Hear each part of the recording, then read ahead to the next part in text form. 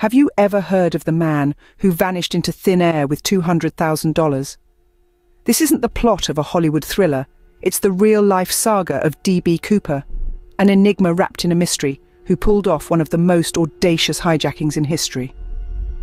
It was November 24, 1971, when a man using the alias Dan Cooper boarded Northwest Orient Airlines Flight 305. The aircraft, a Boeing 727, was just a typical flight from Portland to Seattle. But Cooper had other plans. Clad in a business suit and sunglasses, he handed a note to a flight attendant, calmly declaring he had a bomb. The stakes were high. Cooper's demands were clear. $200,000 in cash, four parachutes, and a refueling truck ready in Seattle. Authorities, weighing the lives of the 36 passengers against his demands, chose to comply. Upon landing in Seattle, Cooper exchanged the passengers for the ransom and parachutes. He then instructed the crew to head towards Mexico City, flying low and slow. But Cooper's plan didn't involve Mexico. Somewhere over the dense forests of Washington state, under the cover of night and rain, he leaped from the rear air stair of the plane and into legend.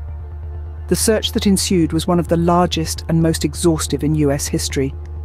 Despite deploying every available resource, the FBI found themselves grappling with more questions than answers. Cooper had vanished, leaving behind only a clip-on tie and a mystery that would captivate the world. In 1980, a young boy stumbled upon a decaying package containing $3,000 from the ransom money along the Columbia River. This clue, however, only deepened the puzzle rather than solving it.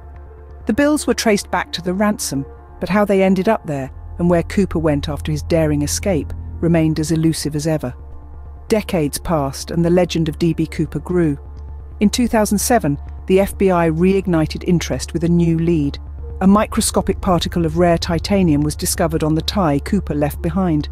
This hinted at a connection to the aerospace industry, sparking theories that Cooper might have been an employee at Boeing, potentially explaining his knowledge of the aircraft. As the years turned, the mystery of D.B. Cooper has infiltrated popular culture, inspiring films, books, and even an annual convention, CooperCon. Yet the true identity of Cooper and his fate remain one of the greatest unsolved mysteries in the annals of American crime. So, what do you think happened to D.B. Cooper? Did he survive his perilous jump? Could he be living a quiet life, his audacious crime a secret only he knows? Dive into the comments and share your theories. The enigma of D.B. Cooper continues to intrigue and challenge us, a tantalizing puzzle waiting to be solved.